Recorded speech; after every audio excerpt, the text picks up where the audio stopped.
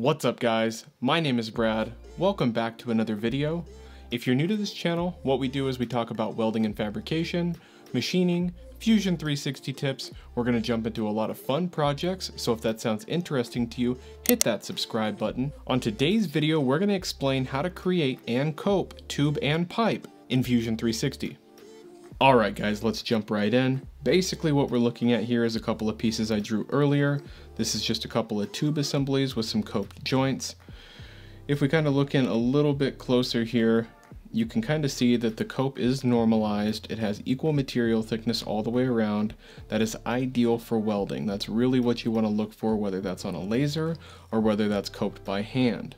Now the first thing we want to do here is create a sketch. We're going to go ahead and select our plane.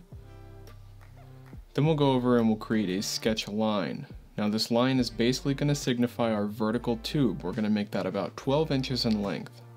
We'll go ahead and make an 8 inch horizontal line and that's going to be another piece of tube. And then we'll go ahead and connect the two with just some random line in between.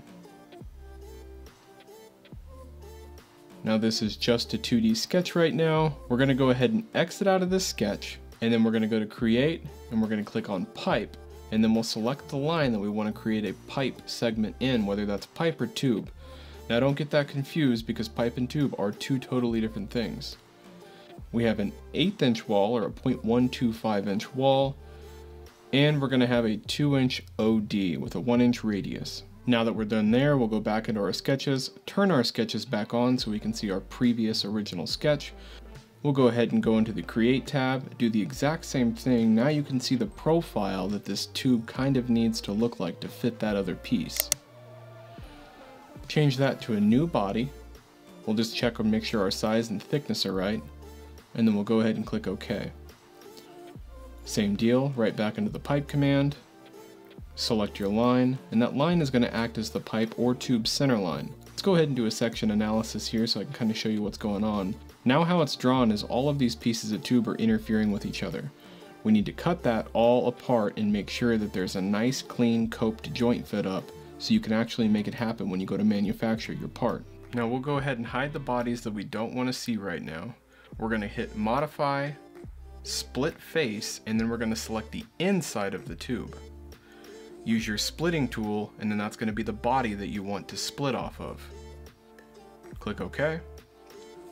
Now it doesn't look like a whole lot's changed until you actually take that piece of tube off and look inside, and you can see that there's a coped profile. Now the easiest way to do this is to go ahead and just use your press pull tool and then negatively extrude it the wall thickness of the piece of tube. There you go. So there's your cope. Super simple, normalized, equal material thickness, and that's a cope that's ready to weld. We'll go ahead and repeat the process. Make sure to select the inside of the tube with your faces to split, and then use a splitting tool for the outside body. Now if we hide this piece of tube and look inside, once again, you'll be able to see that there's a profile on the inside that's representing the cope line. Go ahead and use your press pull tool, negatively extrude it the wall thickness of the tube, and there's your second cope. Fits really nice, ready to weld, even material thickness, that's a really ideal cope. Split face, click the inside of the tube, select your splitting tool, and then click on your other body. Go ahead and hit OK, hide that piece, and then look inside, and there's your profile negative 0.125, enter. Now here is the full assembly, super basic, but you can do a million things with this. Now SolidWorks is pretty far ahead of everybody when it comes to tube, but Fusion 360 is catching up. Fusion 360 is absolutely amazing and I think they're going to be leading the way pretty soon. There's always tips and tricks to be able to get around any things that you can't find or that you aren't used to. Well that about sums it up for this video and I appreciate you watching. If you learned anything from this video, hit that like button. Thank you so much for watching. We'll see you next time.